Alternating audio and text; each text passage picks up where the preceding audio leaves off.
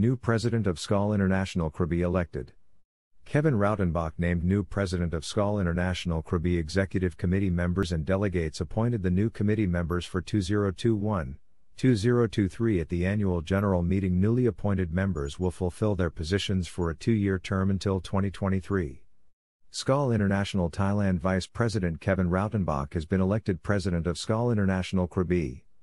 Executive Committee members and delegates appointed the new committee members for 2021 2023 at the annual general meeting of Skal International Krabi.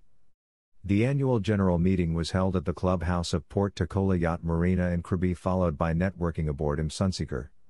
The newly appointed members will fulfill their positions for a two-year term until 2023.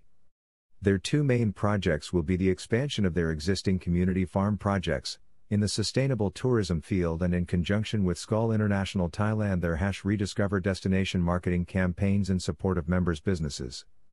Hashtag rediscover Krabi hash rediscover Thailand.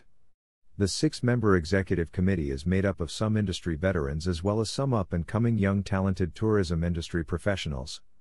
Mr. Rautenbach is a seasoned tourism and hospitality expert and entrepreneur with a passion for modernization and digitalization of the hospitality sector. A career relocation 17 years ago brought him to Thailand, which has been home ever since. Wolfgang Grimm, President Skal International Thailand welcomed the election of Kevin Rautenbach to become president of Skal Krabi and will continue supporting the club as an active member of the board.